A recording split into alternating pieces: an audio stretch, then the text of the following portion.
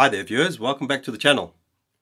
Today we're going to be looking at this uh, Acer laptop Windows 10 that all of a sudden didn't boot. Customer said the computer's been working fine, switched it off yesterday, normally no problems and all of a sudden today it will not boot. Um, he went online, got some tips about creating a Windows 10 USB stick or a Windows 10 DVD, boot from that media and try and run some sort of a repair or a restore or a reset. Nothing's worked and it's come into the workshop. So um, I've found in this case, um, a lot of the times the problem will be the hard disk. So I recommend that uh, if you have stuff which is important to you, back up your data first, get the disk out, connect it um, with a USB adapter to another laptop, PC, get a backup done, or if you don't have the equipment, get the backup done by somebody first before you continue doing any of these steps. Um, today I'm going to show you a quick tip uh, to do with system restore. That's the quickest and easiest way to get the Windows 10 back up and running. But in this case, when you click the Windows restore, we have an error. I'm going to show you now. So Windows restore is a operating system restore point uh, checkpoint uh, back in time where it will restore the computer back to that date. Uh, you do not lose any apps, you do not lose any data, and um, very minimal changes to your PC. Okay, uh, system reset is different. You have um, two ways of resetting your PC. One is the factory reset, where you completely wipe everything out and restore the computer back to it was factory settings. Um, you lose all your data and apps. The other one is where you can you get the option to keep your data. You keep all the data, but all the apps will be need to be uh, reinstalled afterwards. Okay, so let's go to this problem we're having today. It does not even give us uh, the option uh, to do a reset let's come down to the system restore and I'm going to show you the problem we're having.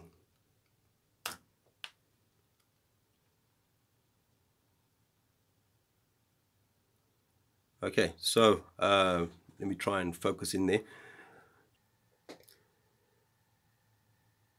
System restore. To use system restore, you must specify which Windows installation to restore. And then you can close, and that's about it. So I'm going to show you what you could do to get past that issue doesn't matter how many times you restart the computer, you'll always get that same error. So back to troubleshoot, come down to the command prompt. Okay, I'm typing with my left hand here. So we're going to type in the following. Um, rstrui.exe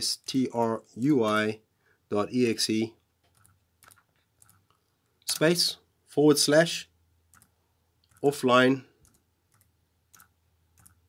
uh, colon C C is the disk where your Windows installation is installed. If your Windows is installed to a different uh, location, different path, you will substitute C with your correct drive letter. Um, colon backslash Windows. Okay, let me just zoom in on that for you. Okay, I hope that's focused for you.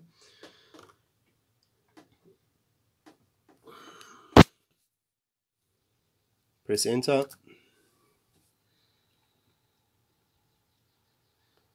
And your system restore will start as usual and you will not get that message about specify which windows to restore.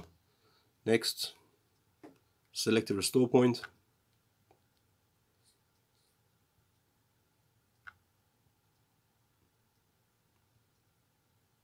Next, and finish. So once started, system restore cannot be interrupted. Do you want to continue? Yes. Right, and that's it. So um, if you're lucky, the system restore will um, run through the process and if everything goes okay, your Windows uh, 10 will start up after that. Um, I recommend uh, running some sort of a hard disk diagnostics just to make sure that your hard drive is healthy. Otherwise, um, this problem will just keep coming back. Okay, so the system restore has uh, completed successfully, it says, and we have the option to restart.